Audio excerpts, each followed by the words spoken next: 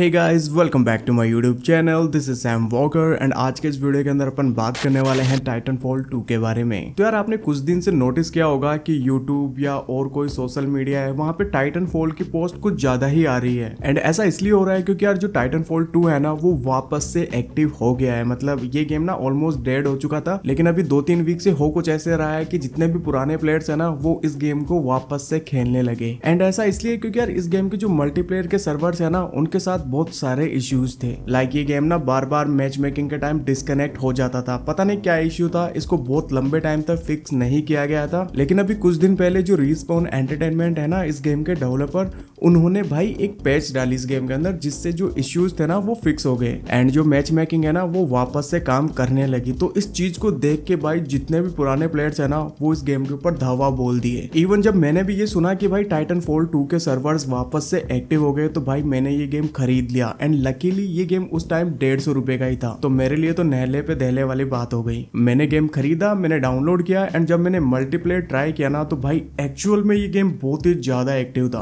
मतलब पहले क्या था कि मैच मेकिंग के अंदर कम से कम आपको तीन चार मिनट लगती थी पहले। लेकिन अब क्या हो रहा है भाई, एक मिनट के अंदर, कई बार तो पंद्रह सेकंड के अंदर आपको मैच मिल जाता है, जो कि भाई बहुत ही ज़्यादा इंसेन है एक उस गेम के लिए, जो कि ऑलमोस्ट एक डिकेड पुराना होने वाला है। ये गेम 2016 के अंदर रिलीज़ हुआ था एंड आज इस गेम को आठ साल हो गए एंड आने वाले कुछ सालों के अंदर इसको दस साल भी हो जाएँगे। And I am still damn sure कि ये गेम फिर भी डेड नहीं होगा। क्योंकि यार इस गेम का जो गेम प्ले कॉन्सेप्ट है ना भाई, वो बहुत ही ज़्यादा यूनिक है। प्लस गेम प्ले मैकेनिक्स का तो क्या ही कहना भाई, बहुत ही ज़्यादा एडिक्टिव है। इवन आप भी अगर एक बार इस गेम को खेलने लग जाओगे ना तो आई एम डैम श्योर कि आप कम से कम पचास से सौ घंटे तो इस गेम के मल्टीप्लेयर में बिता दोगे। अब मैं सिर्फ़ मल्टीप्लेयर की तारीफ़ कर रहा हूँ तो इसका मतलब ये नहीं है कि इस गेम का मल्टीप्लेयर ही बढ़िया है। इस गेम की जो स्टोरी लाइन है ना भाई, वो भी मास्टर पीस है। नाउ आई नो कि इस गेम की जो स्टोरी लाइन है ना, वो इतनी ज़्यादा बड़ी नहीं है बट स्टिल आप कम से कम आठ से दस घंटे तो इसकी स्टोरी लाइन में बिता दोगे। क्योंकि भले इस गेम की स्टोरी लाइन इतनी ज़्यादा बड़ी नहीं हो बट भाई बहुत ही ज़्यादा इंटरेस्टिंग है। इंटरेस्टिंग होने के साथ साथ इस गेम के जो लेवल्स वगैरह ये है ना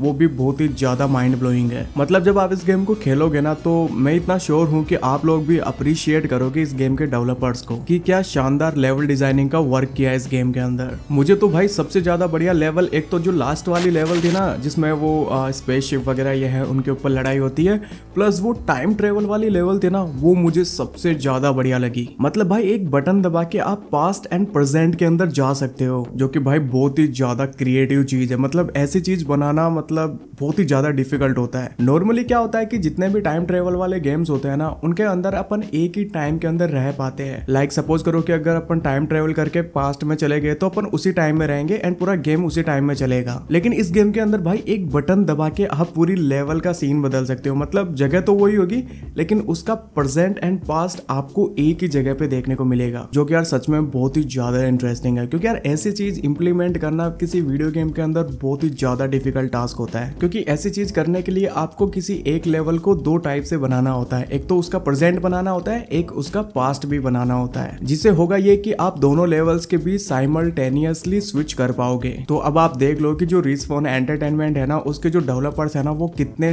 ज़्यादा मतलब एक तरीके से इंटेलिजेंट एंड कितने ज़्यादा क्रिएटिव है। भाई सही बता रहा हूँ, ऐसी चीज़ें ना बहुत ही रेयर होती है वीडियो गेम्स के अंदर। मतलब इतनी ज़्यादा इंटरेस्टिंग लेवल्स आपको बहुत ही कम गेम्स के अंदर देखने को मिलेगी। प्लस इस गेम के विजुअल्स की अगर मैं बात करूँ तो भाई इस गेम की जो ग्राफिक्स है ना, वो बहुत ही ज़्यादा गॉर्जियस है। मतलब आज के गेम से भी आप इस गेम को कंपेयर करोगे ना इन टर्म्स ऑफ़ विजुअल्स तो भाई ये गेम इजीली बीट कर देगा। प्लस अच्छी ग्राफिक्स के साथ साथ इस गेम का जो ऑप्टिमाइजेशन है ना, भाई वो भी नेक्स्ट लेवल है। मतलब बहुत ही ज़्यादा स्मूथली काम करेगा आपके लो एंड पीसी के अंदर भी। अब तुम देख लो कि आज के जितने भी गेम्स है ना, वो विजुअली भी इस गेम से आगे नहीं है प्लस ऑप्टिमाइजेशन में भी बहुत ही ज़्यादा बेकार है। इवन 1050 Ti जैसे ग्राफिक कार्ड भी स्ट्रगल करते हैं आज के गेम्स को चलाने के लिए। लेकिन ये गेम विजुअली भी स्टर्निंग है गेम प्ले भी बहुत ही शानदार है, इसकी ग्राफिक्स भी बहुत ही ज़्यादा बढ़िया है प्लस इसका ऑप्टिमाइजेशन भी नेक्स्ट लेवल है। मतलब ऑल राउंडर गेम है ये। फिर भी आपके लो एंड पीसी के अंदर ऐसा मक्खन मलाई की तरह चलेगा, जितना आज के गेम सोच भी नहीं सकते। भाई सही बता रहा हूँ, आज के जो गेम डेवलपर्स है ना, वो पुराने गेम डेवलपर्स के सामने कुछ भी नहीं है। वो लोग गेम के हर एक एस्पेक्ट को बैलेंस करना जानते थे। एंड ये स्किल आज के जो गेम डेवलपर्स है ना, उनके अंदर मिसिंग है भाई। अगर गेम की स्टोरी लाइन अच्छी है तो उसका गेम प्ले बेकार होगा गेम प्ले अच्छा है तो उसका ऑप्टिमाइजेशन बेकार होगा ग्राफिक्स अच्छी है तो स्टोरी लाइन अच्छी होगी।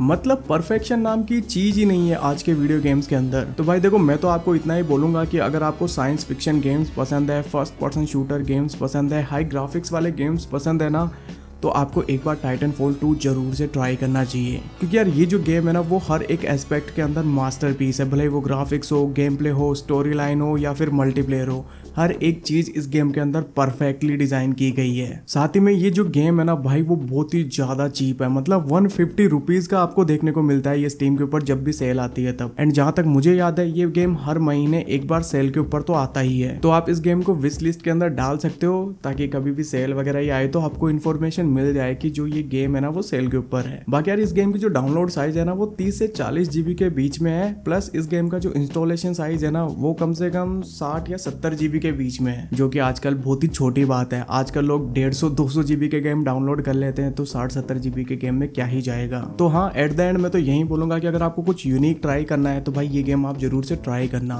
देखो, ऐसे गेम बहुत ही ज़्यादा रेयर होते हैं एंड आई डोंट थिंक कि फ्यूचर में अपने को इससे बेटर गेम्स देखने को मिलेंगे। एंड अभी तो इसका जो मल्टीप्लेयर है ना, वो भी बहुत ही ज़्यादा एक्टिव है तो टाइम रहते हुए खेल लो। पता नहीं फ्यूचर में कभी आपको मौका मिले या नहीं मिले। तो हाँ एक बार आप इस गेम को ज़रूर से ट्राई करना। तो चलो यार, मिलते हैं अगले वीडियो में, तब तक के लिए बाय टेक केयर